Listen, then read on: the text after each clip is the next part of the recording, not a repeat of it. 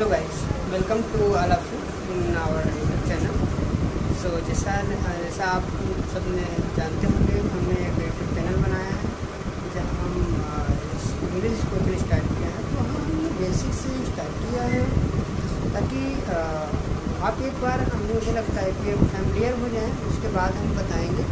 तो ज़्यादा उसके बाद हम आगे बढ़ेंगे जैसे जैसे तो जैसे हमको ज़्यादा बताई देगा और एक चीज़ आपने नोटिस किया कि सेंटेंस में एक चीज़ स्पोकन इंग्लिश खासतौर से बात करें क्योंकि हमारा पर्पज यही है स्पोकन खासतौर से अगर आप देखेंगे तो उसमें यही मैटर करता है कि जैसे कि एक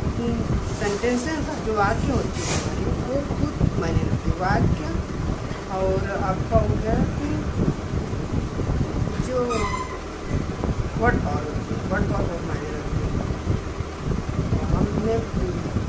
प्रेजेंट सिंपल टेंस भी पढ़ाया तो टॉपिक तो